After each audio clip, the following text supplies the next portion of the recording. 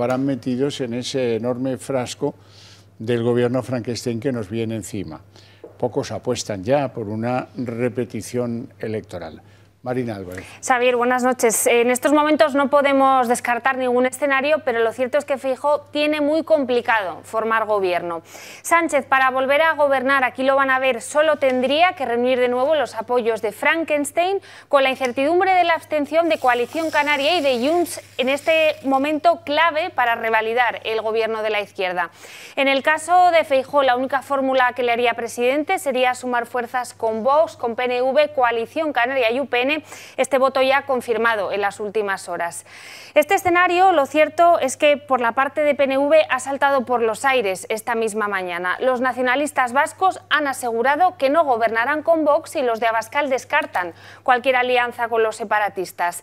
Sin el PNV, Feijó no va a llegar a la mayoría absoluta. El gallego tendrá que demostrar estos días sus habilidades como negociador.